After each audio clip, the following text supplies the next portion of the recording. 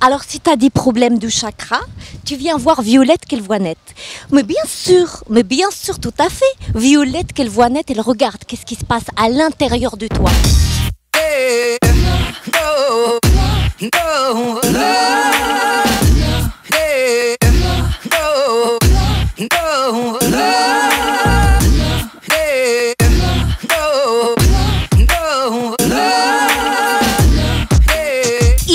Et maintenant.